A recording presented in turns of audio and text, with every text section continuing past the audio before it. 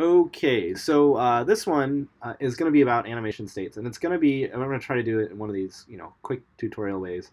Um, we have a bunch of different ways we can do animations, and uh, we're going to do that in Unity here. Um, I'm going to just drag this thing in. I, I have a couple um, images already into this project, and one of them is just this. They all come from Glitch the Game, where everything else comes from that I do. Um, but this one down here is just something, some platform for us to stay on. And then I have two Fox animations. This one is Orange Fox Walk and Orange Fox Pause. And so what we want to do is we want to have uh, this pause animation playing um, when the fox is just standing there, and we want to have the walk animation um, play when the fox is walking.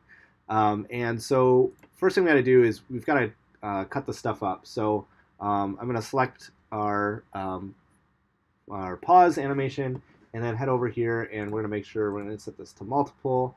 We'll go to sprite editor, apply that, and we'll slice it, let it do automatic, and we will apply it.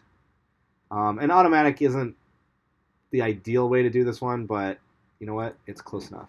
And then we'll do the same thing for um, our walk animation. We'll change it to multiple, go to sprite editor, we'll apply it, and we'll slice it, automatic, slice, apply it, and there we go. And so after we've sliced them, now we have all these different frames. I'm just clicking on this little arrow here.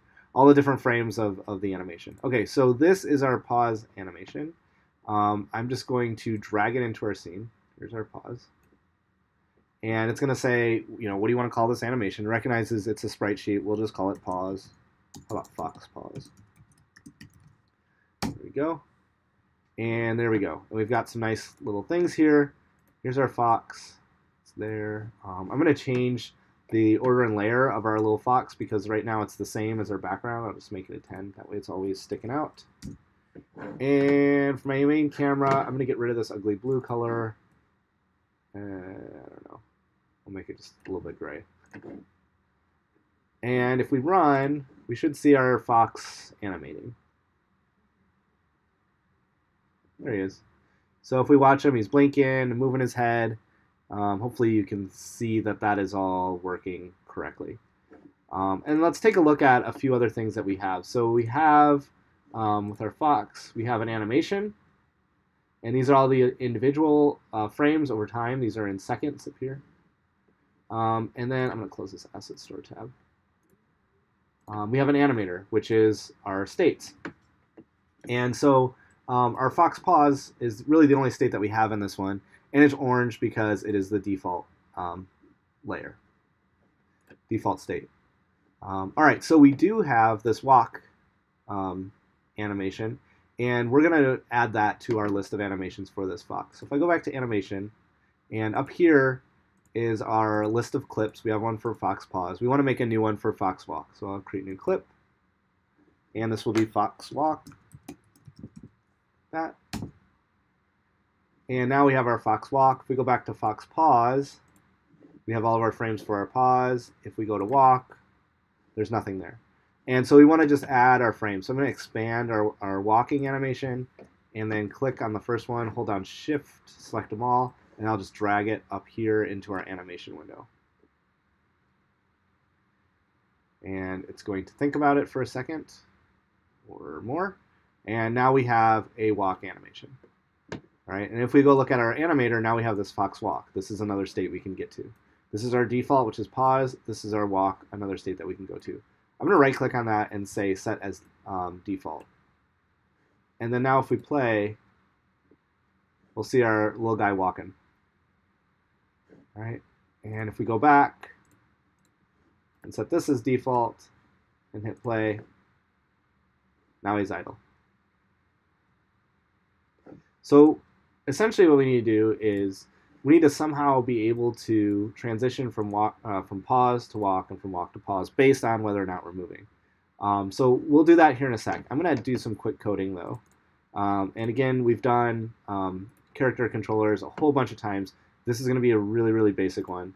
So I'll create a C-sharp script. We'll call it player controller. And we will attach that to our Fox go. Let me open that up. And we can make our speed, public float speed equals 0.1f. And in our update loop, we'll just say, since he's facing left, um, we'll just say if the left arrow is pressed, we'll you know we'll move. So if input dot get key down, uh, how about just get key, key code dot left arrow. So remember, get key means is it pressed? Get key down is the single frame when it first goes down, and get key up is when it's released. So if the left arrow is being held down, we will say vector two position equals transform dot position position dot x minus equals speed oops and then transform dot position equals position. So this will just move us over to the left and let's see what happens. Run it. I hit the left arrow and we go to the left. But it's still playing the idle animation. It would be nice if it would actually play the walk animation. And we don't quite have that set up yet. So if we look in our animator, we can create um, some conditions when we transition from pause to walk. So if I right click on pause and say make transition, I can drag and drop an arrow down here to Fox Walk, and then we'll make another transition going back. Um, each of these transitions has a list of conditions. Um, and we want to uh, go from pause to walk, that's the uh, direction this arrow is going when we are walking. So over here, I can change our parameters. Right now, there are no parameters for this animator, but I can add one. It'll be a bool, and we'll call it walking. All right, so we will transition from pause to walk when, and I'll click over here, uh, walking is true.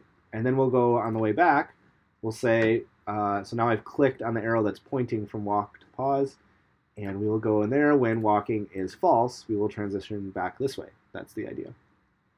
Um, and that's really the extent of it. Um, but um, this little Boolean flag walking, we haven't really controlled that in any of our scripts. So if I go back to our player controller, um, that's part of our animator. So I can say something like, um, and I'll put an else in here. So here we are. We have the key down, so we want to be playing our walking animation. So I can say get component animator dot set bool walking oops true right that's how we're going to set bool and this is the variable that we defined um, up here walking so make sure your case sensitivity and all that kind of business is right all right and if we're not walking we will set it to false And remember, we can get kind of crazy with this. We can move in all different directions and all that sort of stuff. But this is just showing you the absolute basics of um, using the animation here. Uh, let's go back to our scene. I'm going to move my little fox guy way over here so we can actually see him move. And let's see if what happens. So I'm going to hit left. And eventually, well, let's slow him down. Make his speed 0.05. So it, it, it looks like it's not working, and, it, and there's a reason for that. Um, but I just want to show you that it kind of works. All right, so I'm holding down this key. Now he's walking. All right, so we actually did transition um, from one state to the next. It just took a really long time. Let's do it again. So here he's sliding. I'm holding down, holding down, holding down, and then he starts walking, and there we go. All right, so the reason, if we look at this thing here, we have our animation of our walk animation is like a quarter of a second for one cycle.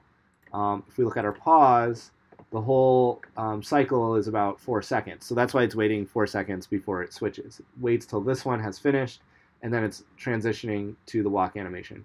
And if you want that, that's fine. There's reasons when that's good, um, but there's also reasons when that, that's bad. And in this case, where we have these simple animations, we want it to switch right away. And so um, I'm clicking on the arrow that transitions from pause to walk. And um, we have this thing here called has exit time. And I'm going to uncheck that box because what that means is don't wait for that animation to finish. And we'll do the same thing when we're going back. Uncheck that box. And so now if I hit play, we're idle, we're walking, we're idle, walking, idle. And now it looks like it's actually working. All right.